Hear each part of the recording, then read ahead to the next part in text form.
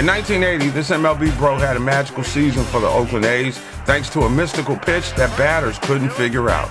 What's up? It's your boy Mark Gray in the DMV. You are wherever you are. Let's check out how they did it black in the day on MLBBro.com. MLB Bro presents Black in the Day. Mike Norris was another of the Bay Area bros who followed in the footsteps of Dave Stewart and Vida Blue as must-see starters when they were on the hill.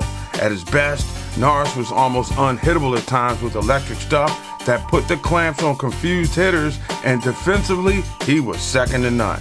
During the 1980 season, when former Yankees manager Billy Martin took the reins, Norris went 22 and 9 with 24 complete games and a 2.53 ERA. Norris was so nice, he also earned the American League's Gold Glove Award that year. However, the real story behind that epic season was his screwball, coming from a right handed pitcher, which to that point was unheard of by anybody who wasn't a southpaw. He pitched nine complete games where he allowed four hits or fewer. Norris' 22 wins tied Tommy John for second most in the American League that year, and he led the league with just 6.8 hits allowed per nine innings.